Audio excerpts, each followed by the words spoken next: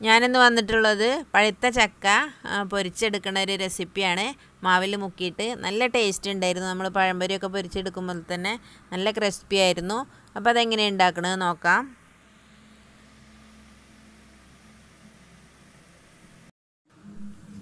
ഞാനൊരു അര കപ്പ് മൈദപ്പൊടിയും കാൽ കപ്പ് കടലപ്പൊടിയും എടുത്തിട്ടുണ്ട്.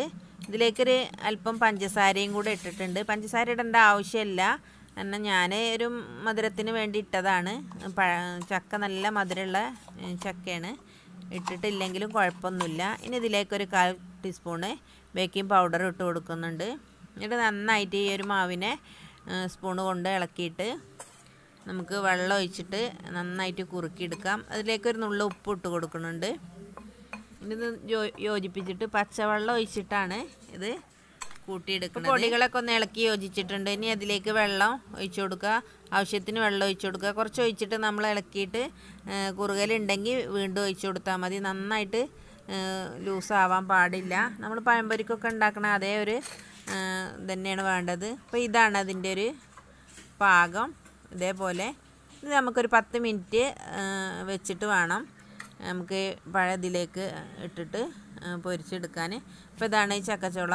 ഇതിൻ ഇത് കുരു കളഞ്ഞ് രണ്ട് പീസാക്കിയിട്ടാണ് ഞാൻ പൊരിച്ചെടുക്കുന്നത് അപ്പോൾ ഇതേപോലെ രണ്ട് പീസാക്കണം കുരു മാത്രം കളഞ്ഞ് അതിന്റെ ഉള്ളിത്തതും കളഞ്ഞ് രണ്ട് പീസാക്കി എടുത്തതാണിത്. ഇനി ഞാൻ ആ മാവ് ഒരു പത്ത് മിനിറ്റ് വെച്ച മാവാണ് ഒന്നും ഇങ്ങോട്ട് അഞ്ഞ് വന്നിട്ടുണ്ട്. ഇനി ഇതിലേക്ക് ഞാൻ ആ ചക്കന്റെ ഇത് ഇട്ട് കൊടുക്കുകയാണ്. മുറിച്ച് വെച്ച ചക്ക ഒന്നിട്ടിട്ട് ഇളക്കിയിട്ട് ആണ് ഞാൻ എണ്ണയിലേക്ക് ഇട്ട് കൊടുക്കുന്നത്. ഞാൻ നമുക്കിത് പൊരിച്ചു കോരാം. പൊരിക്കാൻ വേണ്ടി ഞാനൊരു ചട്ടി അടുപ്പിൽ വെച്ചിട്ടുണ്ട്. അതിലേക്ക് വെളിച്ചെണ്ണ ഒഴിച്ചു കൊടുക്കുക. നന്നായിട്ട് ചൂടായിട്ട് വേണം ഇതിലേക്ക് ചക്കപ്പഴം ഇട്ട് കൊടുക്കാൻ. അപ്പോൾ അതേപോലെ എണ്ണ ചൂടായിട്ടുണ്ട്. ഇതേപോലെ നമുക്ക് എണ്ണയിലേക്ക് ഇട്ട് കൊടുക്കാം കുറേശ്ശെയായിട്ട്. നമുക്കൊരു നാലെണ്ണം അഞ്ചെണ്ണം ഒക്കെ ആയിട്ട് ഇട്ട് കൊടുക്കാം. തമ്മിൽ ഒട്ടി നിന്ന് എഴുതി പ്രശ്നമില്ല നമുക്ക് മറിച്ചിടുമ്പോൾ ഒന്ന് വേറെ എടുത്തി കൊടുത്താൽ മതി